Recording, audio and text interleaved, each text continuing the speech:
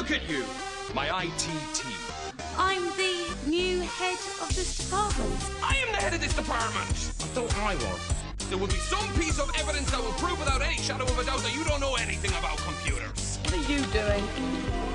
Plugging in your computer. Hello, computer. Hello. Hello, IT. Have you tried turning it off and on again? You, you do know how a button works, don't you?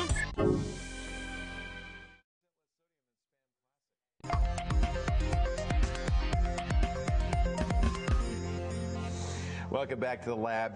When I use the word hacker, I use it as an as an honorary term, a term of a term of endearment. A hacker is a person who takes hardware or software and takes it to the next level, not to do anything malicious, No, but just no, to find out what it can do, to take it somewhere that it wasn't intended to go. And Franklin Harris is a hacker. He is uh, with Technocrat. He's the managing editor there, and he also has his own video show uh, on the internet called uh, digitalunderground.tv. And you're going to do something that is has become perhaps the most one of the most popular hacks over the last few years, which is to take a Linksys router and to change the firmware to, to enhance its capabilities. There are three or four books written about hacking this There's books. Yeah, wow. there's, there's an O'Reilly book and a bunch of independent books. This is the W Linksys WRT 54G L. That's right, And then we have to say the L. You, you used to say the L, but the L is something that since uh, Cisco acquired it has changed. Right. Uh, the original 54G, there's about eight revisions. The first six revisions uh, were okay to hack. Highly hackable. Highly hackable. The last two, uh, which came out shortly after Cisco bought Linksys, were not hackable at all. Do you think they didn't want people hacking No, it wasn't routers? intentional. It was they decided to use saved different money. different chips inside to save money, uh, and because of the the outcry and the response online of people complaining, uh, uh, Cisco and Linksys actually released a uh, the GL version. This is intended to be hacked. intended. Uh, Actually, there's a sticker on the box that says the firmware inside of here is completely open source, and you can do anything That's to so it you great. want right on there. So, So it started with OpenWRT. There are now many, many different people. Are they actually taking the original Linksys source code and modifying yes, that? and modifying it.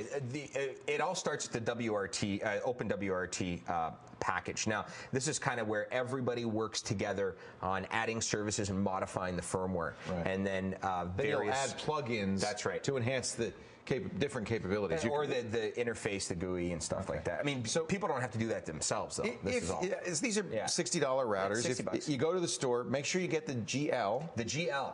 But it doesn't have to be that. If you actually go on OpenWRT's uh, website, there is a huge list of supported. So other uh, routers. other routers too. This There's is the a huge classic. list. That's the classic. This is like the.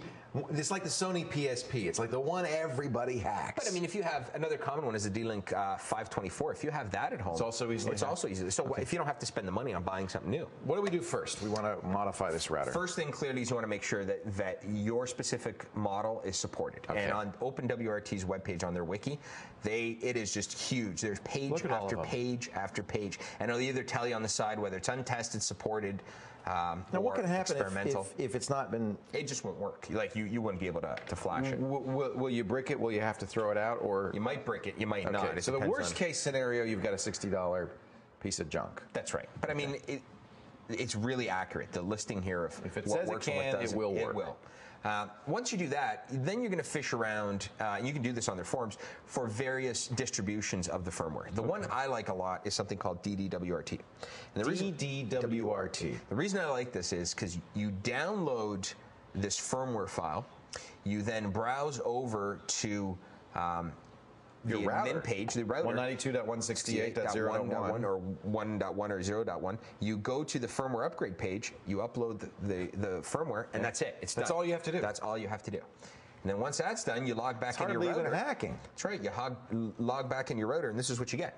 You get something that's um, I don't know if you can see my That's screen. That's the router talking now. That's that's the the admin page for the uh, new It's firmware. announcing, "Hello, I'm a little different." That's right. It's a lot different actually. There's all sorts of features. Now, yeah, what is what is new in here? Here, uh, one of the key things that I really like about it is you can now disable the WAN port on it, and uh, turn that WAN port into a fifth port on the switch. Okay, all these routers have four ports And- plus a fifth that is designed to connect right. to another ra- to the uh, Ethernet. That's right. But you don't. Why would you disable that? Uh, I, I personally have m0n0wall running at home as my actual firewall and router, and I'm just going to use this as an access point. Okay. Nothing else. So this is not just broadcasting. You don't Just need a WAN. I don't need a WAN port, and if I if I can add a fifth computer to it if I want Right.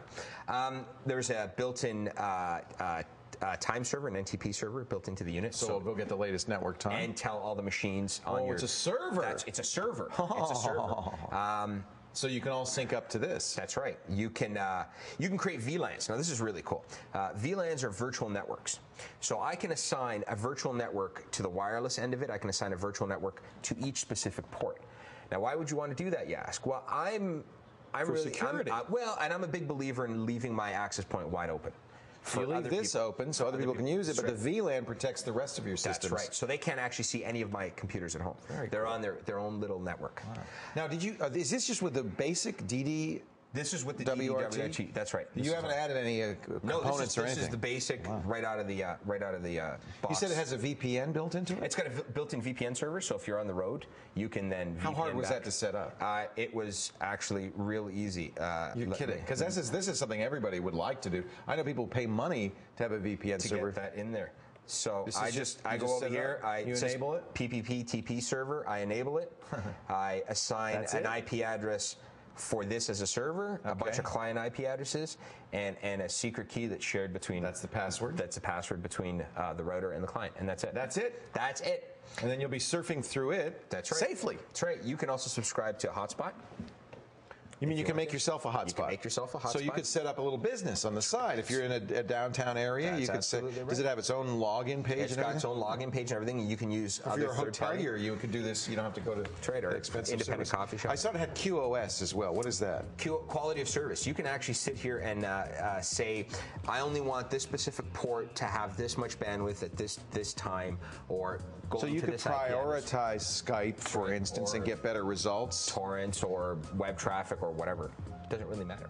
That's, it, uh, and, and, and the list goes on. We've just scratched the surface. It- You can also, the the one thing I really like about it is you can turn the wireless feature into a bridge. So if you've got another wireless device, you can, this can just be an extender of it. This could just- That's right. You don't even need a network cable Right, connecting just back. pass it along. Just pass it along. Yeah. This is uh, DDWRT. It's one of many open WRT implementations to hack your router. It's just that simple. It's just really putting new firmware on there. As long as you get the GL version of the Linksys Of the, the WRT, yeah, or one of the first uh, uh, six of it, if you could find one. Yeah, you may have it. This was the Yeah, most may- popular wireless router for right. many, you many may years. very well have it. Are there any N routers that support this? Uh, I, I'm like sure there are. I'd like to there to are- I haven't memorized all of them, but there's Franklin a Harris is the managing editor at Technocrat, T-E-C-H dot N-O-C-R dot A-T. There it is right there. Yeah, that weird spelling is. And then he also does uh, digitalunderground.tv, a great video show for people who are fascinated by this kind of stuff. More uh, calls coming up in just a little bit. Also, Rob Dunn on remote editing. But first, what the tech? A zoom in picture of something you might find around the lab. Ah, What that tech is that? I don't know. Do you? We'll zoom out and find out when the lab continues.